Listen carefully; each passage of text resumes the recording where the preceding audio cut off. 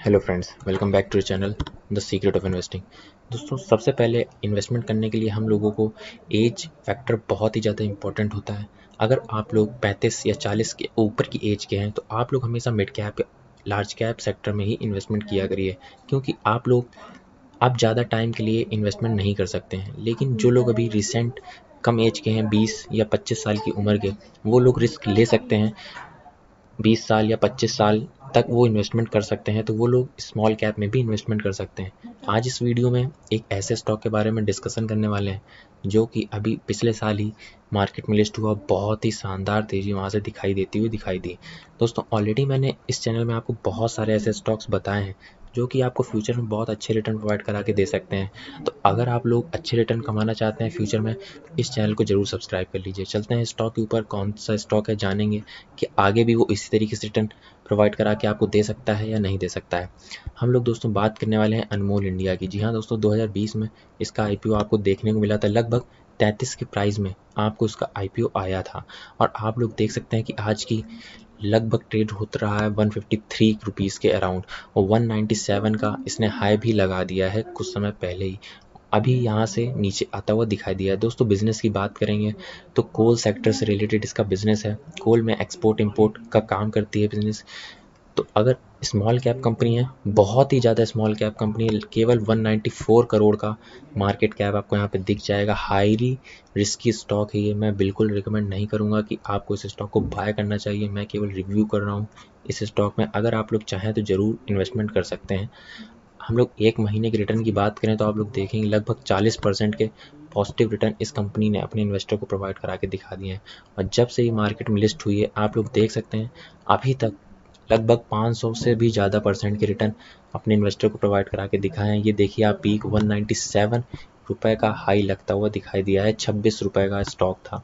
एक ही साल में इतनी तगड़ी तेज़ी आपको इस स्टॉक ने दिखाई है, क्योंकि इस साल का क्वार्टरली रिज़ल्ट बहुत ही शानदार आपको दिखाई दिया है अनमोल इंडिया का। इस वजह से इस स्टॉक में बहुत ही शार्प रैली दिखाई दी है। दोस्तों, जब भी आप लोग इन्वेस्टमेंट करने जाएँ, कभी भी आप लोग रिटर्न को देख के इन्वेस्टमेंट मत किया करिए, क्योंकि ये बिल्कुल भी गलत तरीका है। अगर आप लोग केवल रिटर्न देख के इन्वेस्टमेंट करेंगे तो आप लोग लंबे समय में अच्छी वेल्थ क्रिएट नहीं कर पाएँगे। बिज़नेस मॉडल बहुत इंपॉर्टेंट होता है। अगर वो कंपनी अपने बिज़नेस को एक्सपेंड नहीं कर पाएगी फ्यूचर में तो वो रिटर्न नहीं कमा के आपको दे पाएगी। जैसे कि ये कंपनी है कोल सेक्टर से बिलोंग करती है तो ऐसा कुछ खास है नहीं कि आने वाले टाइम में बहुत ज़्यादा कोल मैन्युफैक्चर होने लगेगा और सप्लाई करने लगेगी, ऐसा कुछ भी नहीं है। और ज़्यादा, बहुत ही माइक्रो कैप कंपनी है। अगर आप लोग डेप्थ की बात करें तो आप लोग उसमें भी देखेंगे कि 21 करोड़ का तीन साल पहले डेप्थ हुआ करता था। अब 40 करोड़ के आसपास का डेप्थ आपको देखने को मिला है। तो लगातार डेप्थ भी आपको यहाँ पे बढ़ता हुआ दिखाई दिया है। आरओसी ज़्यादा कुछ खास यहाँ पे नज़र नहीं आएगी।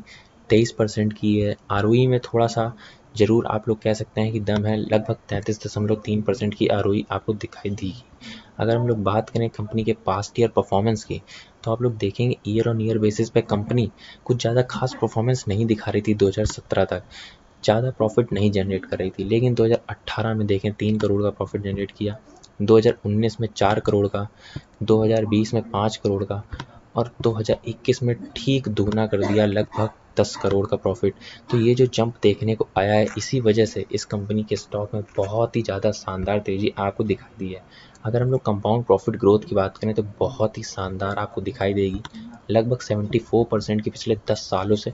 कंपाउंड प्रॉफिट ग्रोथ आपको दिख जाएगी। कंपाउंड सेल्स ग्रोथ भी बहुत ही शानदार, लगभग तैंतीस परसेंट की, पिछले दस सालों से आपको देखने को मिलेगी। हम लोग कह सकते हैं रिटर्न ऑन इक्विटी भी बहुत ही शानदार आप लोग को देखने को मिल सकती है। अगर हम लोग बात करें इसके शेयर होल्डिंग पैटर्न की तो केवल और केवल प्रमोटर और पब्लिक इसमें शेयर होल्ड करते हैं। कोई D I I F I आई का स्टेक नहीं है इस कंपनी के ऊपर और प्रमोटर ने बहुत ही शानदार तरीके से बाइंग करी है। सितंबर 2020 में 54 परसेंट का स्टेक होल्ड करते थे। मार्च 2021 में 59.69 का कर दिया है। तो प्रमोटर अपने ही शेयर बाय बैक करते हुए नज़र भी आ रहे हैं। तो आप लोगों ने अभी तक अगर ये स्टॉक को नहीं लिया तो ज़रूर ले सकते हैं। अगर आप लोग लंबे समय के लिए होल्ड कर सकते हो।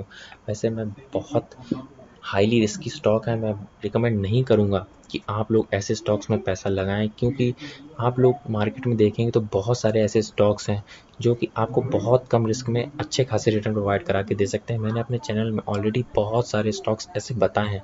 अगर आप लोग जाके चेक करेंगे तो ज़रूर मिल जाएँगे। तो आप लोग स्मॉल कैप या माइक्रो कैप कंपनियों से दूर ही रहें, क्योंकि यहाँ पे बहुत ज़्यादा प्रमोटर का खेल होता है और आप लोग कभी भी उनके ट्रैप में फंस सकते हैं। तो यहाँ से दूर रहें और अपने पैसे को सेफ़ रखें। इस वीडियो में बस इतना ही। मिलते हैं आपको अगले वीडियो में। तब तक के लिए बाय बाय